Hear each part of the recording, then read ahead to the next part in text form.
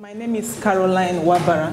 I'm a SEO specialist and a digital marketing consultant for small businesses in Nigeria. And today I'll be discussing, um, I'll be showing you simple tactics I used in helping uh, clients to rank his website, his e-commerce website, a brand new website on the first page of Google or WordPress, using WordPress and uh, WooCommerce. So let me jump because I don't have much time. But why use why SEO? The need for SEO is because today's online user is an informed buyer. So before they even come to you to buy your stuff or to do business with you, they've already done their background checks on you, they've checked you, they've checked out your site, they've also reviewed other people's sites on Google before deciding, okay, maybe you're trustworthy enough for me to buy from you. Also, there are two types of audience online on Google, using Google currently. The first one is the information seeker, while the other one is the buyer. Now, these two people have different mindsets when using Google. The information seeker knows he has a pain that he needs to solve. And he's looking for a process to solve it, meaning that he's not ready to buy yet, but he just needs to find an information. Maybe he wants to learn how to do stuff. So the kind of uh, keywords they use on Google is usually what, where, they use question words, what, where, how, and uh, why. Now, for instance, I want to start importing goods into Nigeria. Uh, what are the list of fast-selling goods that I can import into Nigeria? Okay, now let me ask Google. So he types in the keyword fast-selling, either list of fast-selling goods to import or fast-selling products in Nigeria. Google shows him the relevant uh, websites and he clicks on it to read the article. He's not ready to buy. He just wants to get more information before taking, uh, making the next uh, decision. Now, how do you make this information seeker to trust your website, come to you, read your article, and then go to the next stage, either to do business with you? What I usually do is find topics that they love to read and I use sites like Nairaland. Nairaland is a, uh, a very popular forum where Nigerians go. Someone called it uh, Nigeria's beer parlor, where people go to discuss stuff. Some go there to abuse each other, but people go there to ask questions. How can I do this? Where can I buy this? Where can I learn this? What can I? So on any topic at all. So they go there to ask questions. So this is the uh, this is the search phrase I usually use when I want to filter out questions from Nairaland, okay, to find out topics or questions people are asking. It doesn't matter how long ago they asked the question. It doesn't matter whether they asked the question five, ten years ago. So long as it's still ranking on Google, that question, people are still looking for answers to such questions. So now here's an example. Site colon nairaland.com space, okay, um, quote, how do I and import, okay?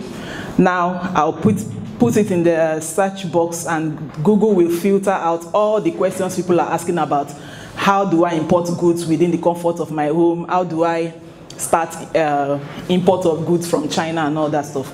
So I'll click on the question and then look at what this, uh, study the conversation. So if uh, if there is no answer to uh, that question, I'll go back to my client and say, hey, people are asking, want to know how to import goods from the comfort of their home. How do we do that? The client will tell me the steps and I'll go and write an article on it and publish it on his blog. Then I'll still come back to that thread on Nairaland and then act like a third party and say, uh, you can read more information on how to import your goods on this site. And people start clicking from Nairaland to his website. This sample of a client's website where most of the articles on the site, I got the questions from Nairaland. 50 hot selling goods. People ask, what are the hot selling products to export? What are the hot selling products to import? 10 things you can import it to Nigeria. So I, I, these are questions I got from Nairaland and published on the site, and he started ranking on Google. Now, how do you make, like I said, make sure that your blog or your website answers the information seekers frequently asked questions. Write things like how-to articles related to your niche, what, where, how, why, some saying things like how much does it cost to build a website? That's a topic that you can discuss. These are questions people usually ask. What, where, why. Then you can also do video series on your YouTube channel and then you can publish it on your blog. You can do case studies as well for depending on your industry. Maybe your the client uh, people need to see uh, examples of clients you've helped in the past. You can write case studies, reviews on your blog, and you can start ranking. Now, the next person is the buyer. This person understands they have a pain, it keeps them up at night and they need to solve the problem and they're ready to make payments for that to solve that problem. And the kind of keywords they use on Google is usually price, they type things like price, buy, best, location. So they can say things like interior design schools near me, or interior design schools in Lagos, or uh, price of uh, water closet. So these are the kind of questions because they already they're ready to make payments, and this is the uh, type of keywords that most businesses or e-commerce sites like targeting. So the, this buyer's mindset is usually, I want to become an interior designer, for instance. Where can I learn interior design online? How much will it cost? How do I register? So your this is the search phrase the person types into Google. Where can I learn interior design? And you make sure that your website answers these buyers' questions from the brand name to the location to pricing, time, reviews. Make sure you have all these elements on your site reviews, testimonials, features, because it's one thing to bring people to rank on Google and then start driving people to your site. It's also another thing to now convert them into customers for them to now trust you. Because if they visit your site and they don't see what they need they will just leave immediately. And that's what we call uh, bounce rate. So they leave immediately. And google will start having this feeling that maybe your site is not that uh, relevant and your ranking drops. So make sure you have all this on your site. All these questions are answered on your site so they can now take action. And also make it easy for them to contact you put a live chat button on your site, uh, your phone number on your site. I don't advise putting your email. Instead, replace it with a, a contact form so that you can mine more data from your uh, website visitors, such as their name, email address, phone number, and maybe their company name depends if you want that on their location. Now, how do you make your website easy for Google and your audience to trust you and find you and then help you rank on Google. Here is my client's uh, story. Uh, Baron Bedrooms. This man uh, came to, attended my training earlier last year in March, and he, he lamented that his website that he built over two years ago, no customers coming from me, nobody calls him, rather his sales team keep going from door to door to sell or do cold calling and all that. So he didn't know what to do. So I had looked at his website and I said there are a lot of things wrong with the website, which I'll go through. So this was the, my strategy checklist. I have the tools, I select my SEO tools, which I will discuss.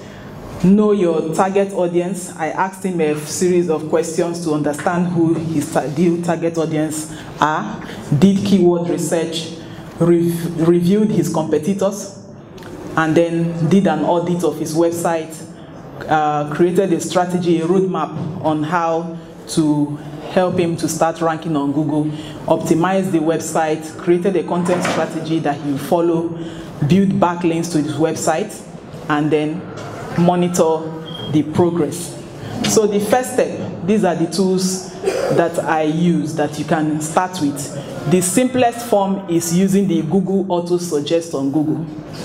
Okay, just type in the keyword of the maybe the industry or your niche. Type it in, Google will show you relevant uh, other searches that people are searching for. You can click on any of them. Another one for WordPress, Yoast SEO plugin is what I recommend for your for optimizing your website. Then another tool I use is called the Screaming Frog SEO Spider. It crawls your website to see what is wrong with your website, whether you have backlinks, um, broken links, duplicate content on your website, uh, whether your images are well optimized, your head title tag and all that are well optimized. Then we have the Excel should be your best friend. That's a, an SEO specialist number one tool, Excel for planning your your SEO. Then next is a uh, Google Keyword Planner. You can use that, but in place of that, use Google also auto suggest to find keywords people are searching for. Then Google Search Console, very important. You need to, you need it. Set up, create your sitemap, and um, submit it on Google Search Console so that it will help Google to start tracking your website, indexing your website on Google Search, and then showing you the keywords people used to find you online and they click through it. Then the next is BuzzSumo. I use this tool a lot to find, uh, to do competitive analysis, to see what my competitors' uh, content they are sharing online and what people, where their target audience usually hang out online, what, which of their content has the most shares on social media. So I use BuzzSumo to find such content.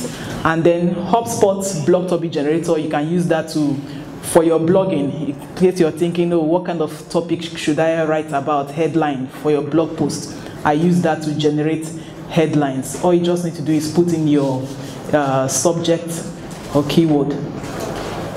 Then next, know your ideal customer. Who is your ideal customer? Very important for Google search for SEO so that you don't attract the wrong customers to your website.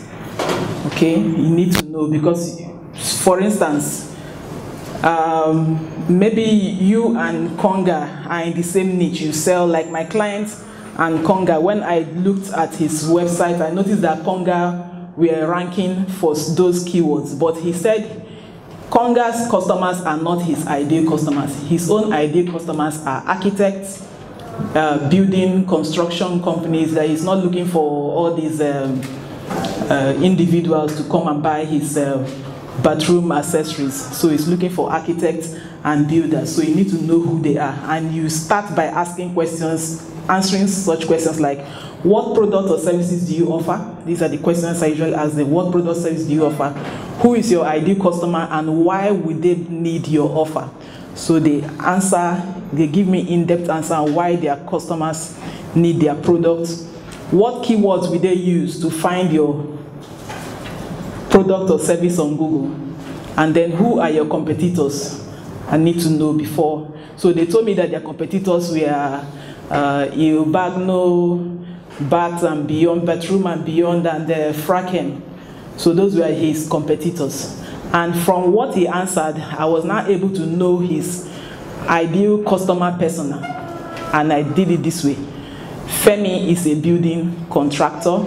He wants to furnish his clients office building with the modern water closet and he doesn't want to go to the market to buy. He would rather stay in his office and check what he needs online and then ask them to bring the to come and do a demonstration in his office or show the samples of what he has at his, they have at his office. So he goes online to search for such information. Now he can type in things like WC toilet price in Nigeria, and Google will show him the relevant uh, websites ranking for such keywords by their brand name, location, pricing, reviews, and features. Now, he clicks to visit the website or landing page to learn more and then make inquiry. Now, unlike his competitors such as Konga, he, he preferred not to put the price on his site because he said his target audience are not the ones that are looking to buy uh, retail, they want wholesale. So he would rather they fill the form and contact him for quotation and then he will send the bulk or deliver it to their location. So this, they now visit the website and uh, make inquiry. Now you can study his buying behavior.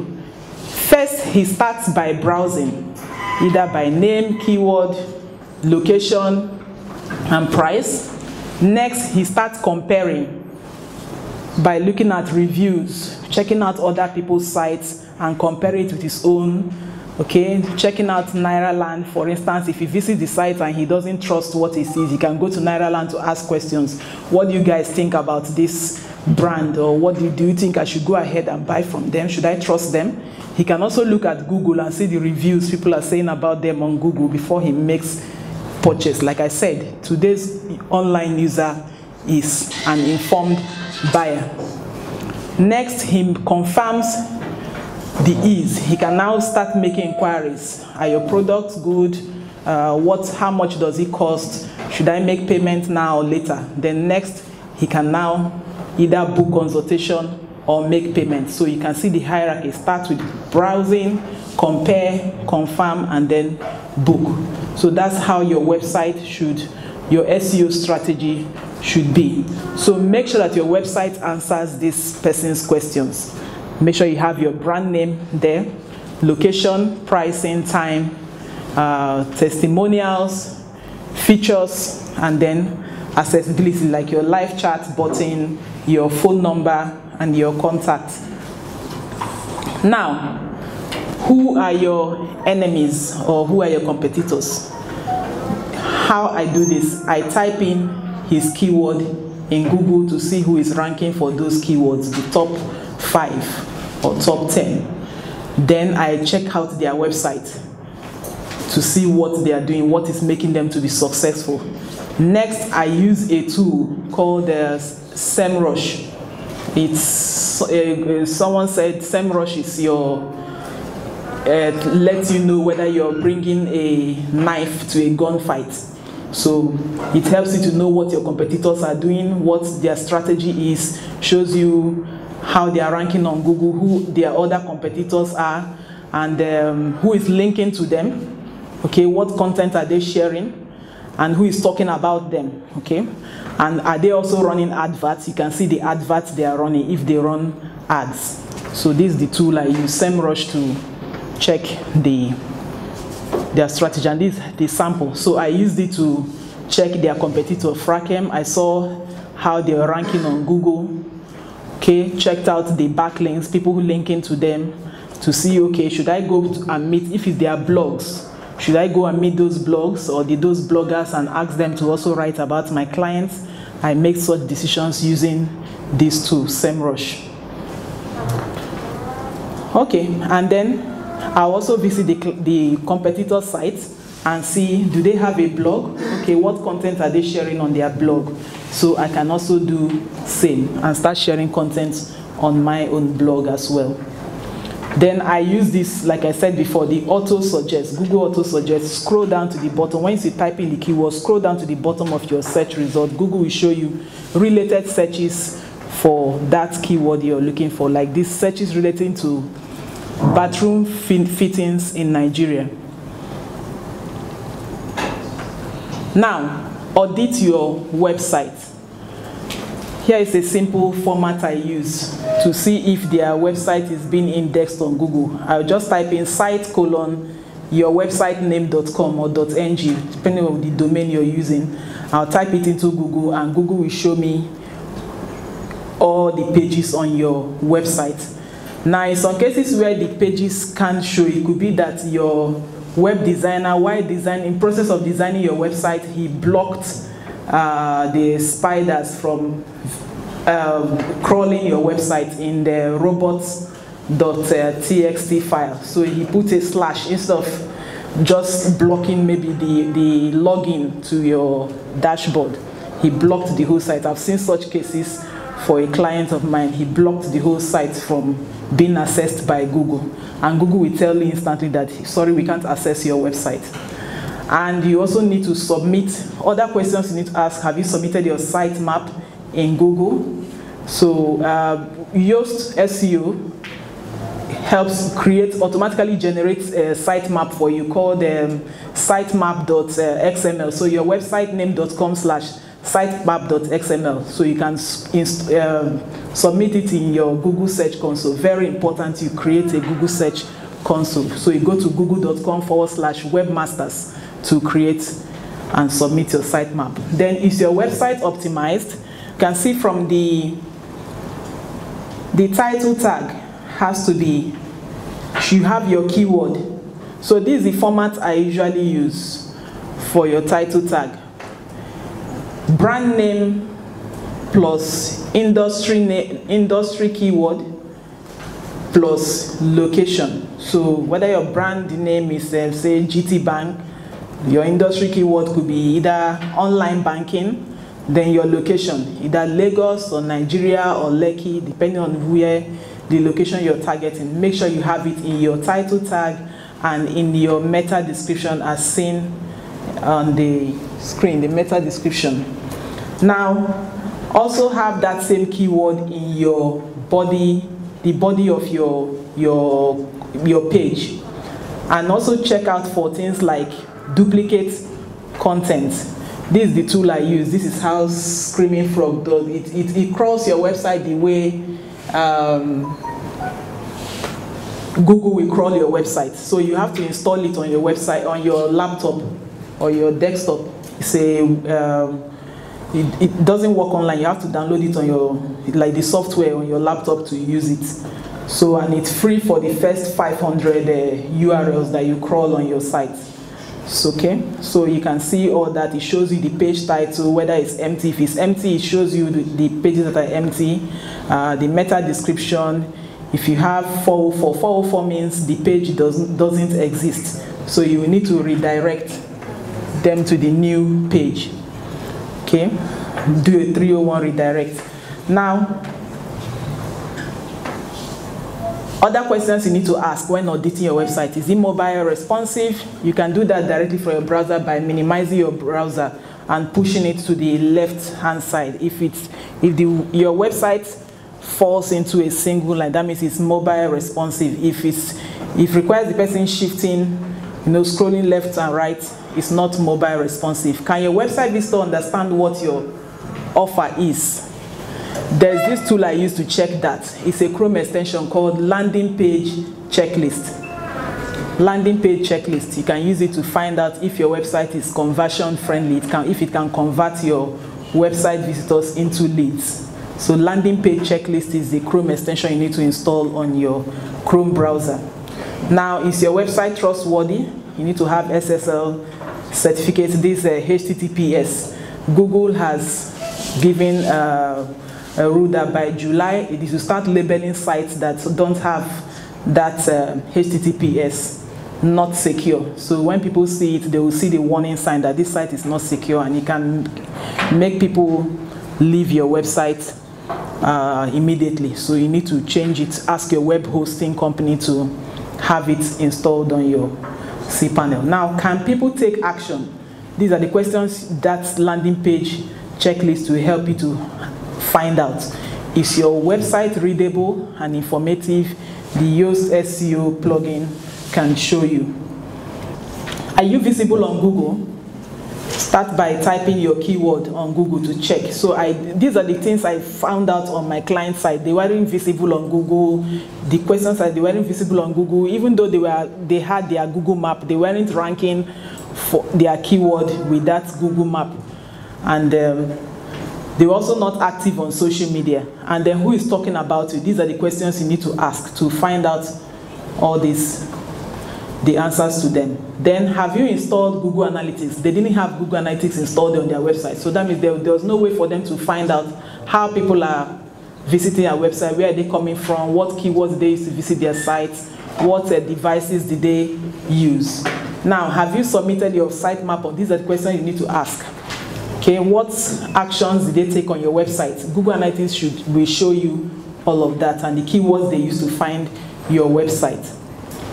Now, next, I created their SEO strategy, starting with their goal. I asked them, what are your goals? They said they want to get generate leads, sales qualified leads from their this uh, SEO that will do for them. So they wanted to generate leads. They wanted their website to be the source for all things bedroom, accessories, and all that. They also wanted to increase websites from search engine. They also want to increase leads, like I said. So the KPIs was number of website traffic from different sources, and then number of leads to their website generated from Google. Now the tactics, I showed them the roadmap of things I will have to do.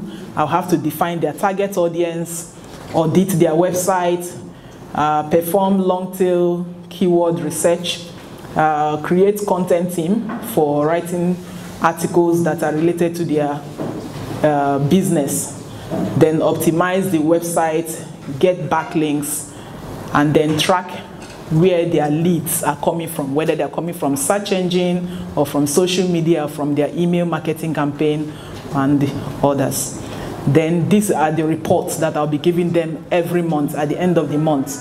Total number of keywords, okay, number of uh, website visits, number of lead form fills, and then attribute the traffic and leads to their various sources, whether they're coming from social media or from search engine or and others. So this is the strategy I created for them.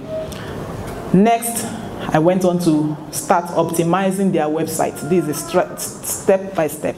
Make sure that the keyword I used, I found from Google, I use it to optimize their URL. You can see they place your keyword here. The page title shouldn't exceed 60 characters. Meta description should exceed 160 I also have to put those keywords in those places, even their header one, header two, and um, the body of their content. Then also in their image, I have to compress their image because it was so heavy. Google complained that their site, images on their site were heavy and the, the, the, the keywords were missing in the, the web design, the former web designer just uploaded the images without renaming them with the ideal keywords of their products. So I did all of that.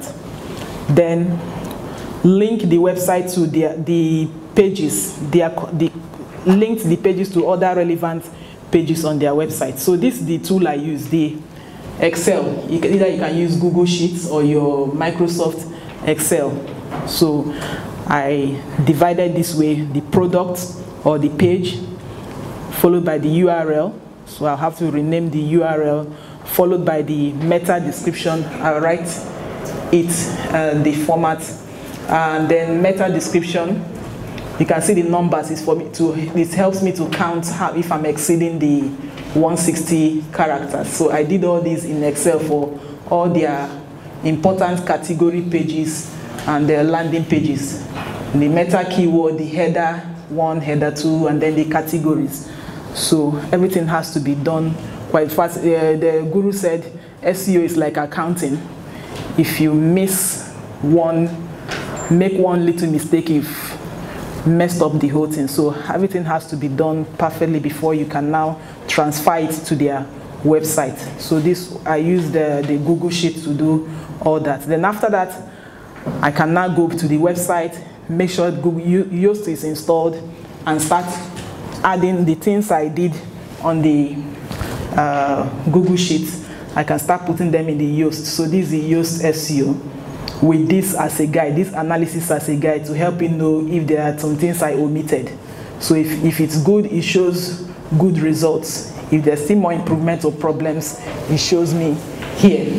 So I add all that in the SEO title tag, the meta description, and the focus keyword because I know that I'm writing for human beings, not just for Google search engines. So it's very important that you also write for human beings and also for Google. So this is the way I did it. I'll ask the client for the details of the product. What's the name of your product? He says basin mixer. What is it all about? He tells me the their technical terms, cartridge, this and that. Then I ask about the benefits of this. I try to answer the benefits of this basin mixer because I'm writing for human beings. So I write the the lifestyle and all that stuff, then I'll make the customer a part of the product. So this is the template I use for that. Then next, uh, the, the product description, this is it here, on this side of the page. This was where I write everything following the Google uh, guidelines, SEO guidelines. Then the SEO title tag, I put all that in here, the long tail keyword. So this is the one I've already searched on Google, what people are currently searching for, the keywords they look, I put them in the meta description, in the SEO title tag, and in the product, in the, in the product description. Once I'm done with it, and then the focus keyword, I can now go and add it to their, each of the pages. Now, creating the content strategy. Like I said before, find out topics your content, your audience love to read. I gave example of uh, using Nairaland. So, like I said, your audience have different mindsets. Some will come to your site, they are not ready to buy now, or they just want to check around, read your content, see if you're for real, or even engage with you or sign up for your newsletter. So make sure that your content answers them at their the different stage of their buying this, um, their journey, the buyer's journey on your website. So the awareness stage is for those who are not ready to buy yet. They just want information. So there are types that usually type in things like 10 ways to do stuff, 10 best uh, things to buy. They watch videos. They check, they have, they're looking for checklist of things they need to do to solve their problem at that point. So I create content for those people, those information seekers. Then for those who are now ready to go to the next stage, the consideration stage, I type in things like this versus that. what how I get to know this is by looking at the client's Google, the Google Analytics, the questions they ask. I also check out uh, uh, questions asked on Nairaland and even on social media groups as well, like Facebook group or WhatsApp groups. I see the questions they ask there. I can filter out the questions in Facebook group by asking, typing things like. Um, um, challenges. People will say, I have a challenge, I have this, how can I do this?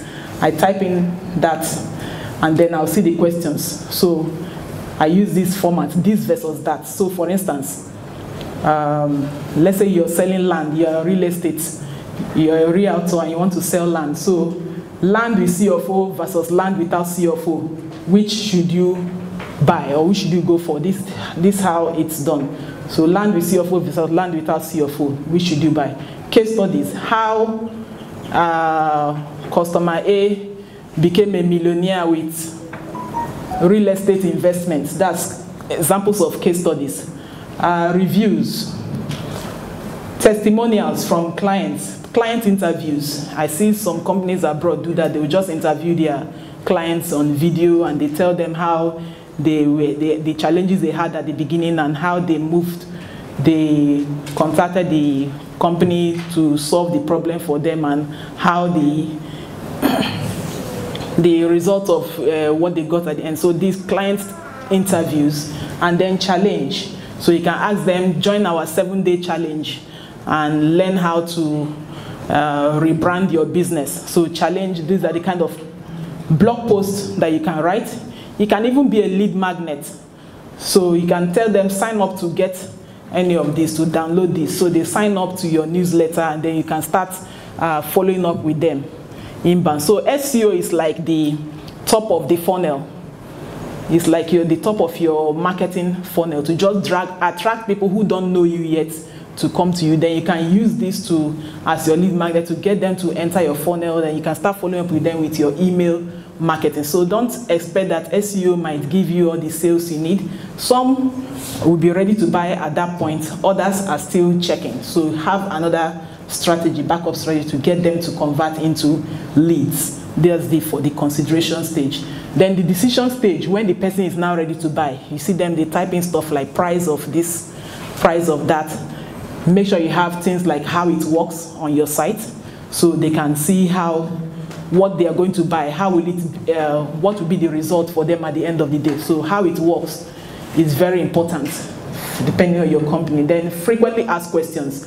What are those questions that people, customers usually ask you every time, constantly, repeatedly? What are they? List them out, put the answers and put it on your site. You can put it on your pricing page. okay for those who are not checking out your price and then they scroll down they see the questions and answers because they want to see what will life be like after i've invested in this your product or service will my life be better will i get what i'm looking for that's the frequent that's the job of the frequently asked questions and then so calculator could be for people in um, maybe the loan or insurance company they can use to check how much it will take for them to achieve the result. So you can use any of this format for your decision, for the decision makers. Now, like I said before, find topics they love to read. I use Go uh, Nairaland to find topics people love to read. And then use ask the client now, write about this, and I will go back to, after writing, I will go back to that same thread and then put the link on the thread to drive traffic listen to the conversation, and then go write your article. Then this is my format for writing my blog post.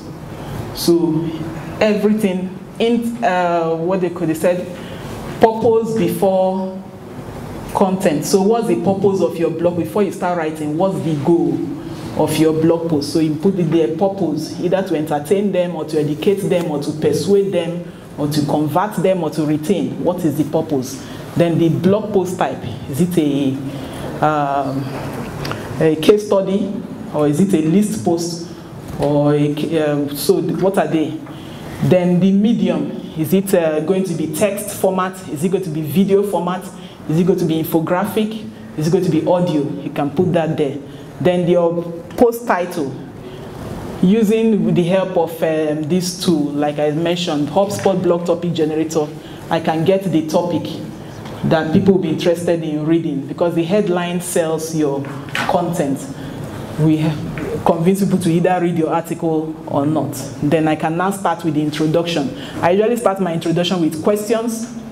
Oh, uh, before now you thought uh, buying accessories, but choosing bedroom accessories was a problem. Well, now it's no longer a problem. You're about to learn the, the essential uh, bathroom accessories you need for your home. Keep reading. Then I'll start writing list posts, list post format. Then the conclusion.